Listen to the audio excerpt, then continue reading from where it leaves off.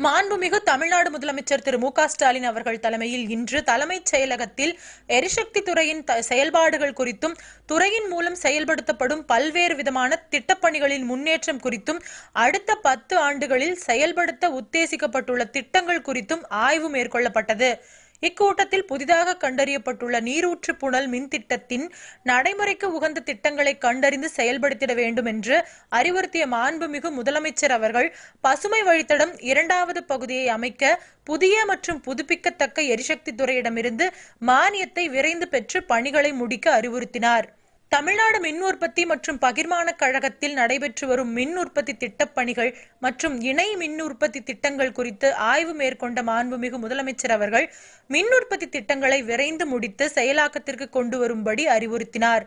மேலும் இரண்டாயிரத்தி பத்தில் துவங்கி பதினோரு ஆண்டுகளாகியும் செயலாக்கத்திற்கு கொண்டு வரப்படாத இணை மின் உற்பத்தி திட்டங்களையும் விரைந்து முடித்திட அறிவுறுத்தினார்.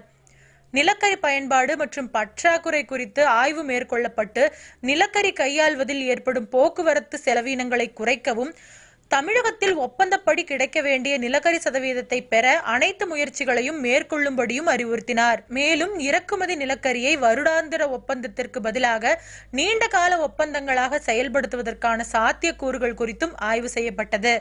தமிழ்நாட்டிற்கு ஒப்பந்தப்படி வரவேண்டிய நிலக்கரியில் எழுபத்தி ஒரு சதவீத நிலக்கரியை மட்டுமே நாம் அனல் மின் நிலையங்களில் இருந்து எடுத்து வர முடிகிறது.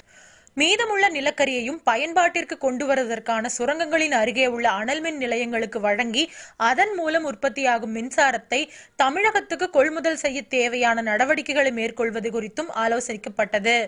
தமிழ்நாடு அரசு கடந்த இரண்டு மாதங்களில் மேற்கொண்ட பல்வேறு விதமான நடவடிக்கைகள் மூலம் ரூ ஆயிரத்தி ஐநூத்தி தொண்ணூத்தி மூணு கோடி சேமித்தது குறித்து மாண்புமிகு முதலமைச்சர் அவர்கள் பாராட்டினார்.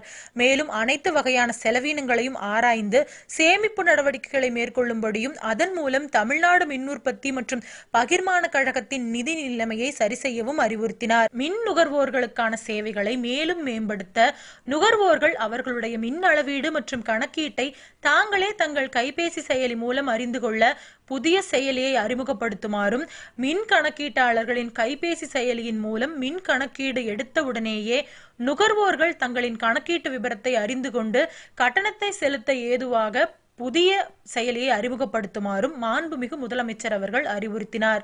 மேலும் மின் நுகர்வோர்களின் குறைகளை உடனுக்குடன் சரி செய்யவும் அவ்வப்போது ஏற்படும் குறைந்த மின்னழுத்த குறைபாடுகளை சரி செய்யவும் திட்டங்களை வகுத்து செயல்படுத்த அறிவுறுத்தினார். எரிசக்தி மேம்பாட்டு முகமையின் மூலம் செயல்படுத்தப்பட்டு வரும் புதுப்பிக்கத்தக்க எரிசக்தி வரைவு கொள்கை தயாரித்தல் மின்வாகன பயன்பாட்டை ஊக்குவித்தல் ஒருங்கிணைந்த சூரிய மற்றும் காற்றாலை பூங்காக்களை ஊக்குவித்தல் ஆகிய திட்டங்கள் குறித்தும் ஒன்றிய அரசின் குசும்சி திட்டத்தின் கீழ் விவசாயிகளின் இலவச மின் இணைப்புடன் கூடிய இறைப்பான்களுக்கு சூரிய மின் மோட்டார் அமைக்கும் திட்டம் குறித்தும் புதுப்பிக்கத்தக்க எரிசக்தியின் மூலம் இருபதாயிரம் மெகாவாட் உற்பத்தி இலக்கை அடைவதற்கான புதுப்பிக்கத்தக்க எரிசக்தி வரைவு கொள்கை தயாரிப்பது குறித்தும் ஆய்வு மேற்கொண்டார். தமிழ்நாடு மின்விசை நிதி மற்றும் அடிப்படை வசதி மேம்பாட்டு நிறுவனத்தின் மூலம் தமிழ்நாடு மின் உற்பத்தி மற்றும் பகிர்மான கழகத்திற்கு வழங்கப்பட்டு வரும் நிதியுதவி திட்டங்கள் குறித்தும் பொதுமக்கள் அரசு துறை அரசுசார் நிறுவனங்கள் இது தவிர இதர நிறுவனங்கள் மற்றும் அரசு நல திட்டங்களின் மூலம் திரட்டி வரும் வைப்பீட்டுகள் குறித்தும் ஆய்வு மேற்கொண்ட மாண்புமிகு முதலமைச்சர் அவர்கள் இந்நிறுவனத்தின் மூலம் செயல்படுத்தப்பட்டு வரும் திட்டங்களின் முன்னேற்றம் குறித்தும் ஆய்வு மேற்கொண்டார். மின் ஆய்வுத்துறையின் மூலம் செயல்படுத்தப்பட்டு வரும் மின் பாதுகாப்பு நடவடிக்கைகள் மற்றும் மின் வரி வசூல் குறித்தும் தமிழ்நாடு மின்சார ஒழுங்குமுறை ஆணையத்தின் செயல்பாடுகள் மற்றும் ஆணையத்தின் மூலம் செயல்படுத்தப்பட்டு வரும் ஒழுங்கு விதிமுறைகள் குறித்தும் ஆய்வு மேற்கொண்டார். இந்த வீடியோ உங்களுக்கு பிடிச்சிருந்தா பிடிச்சிருந்தா ப்ளீஸ் லைக் அண்ட் ஷேர் பண்ணுங்க. மறக்காம எங்க சேனலை சப்ஸ்கிரைபும் பண்ணுங்க.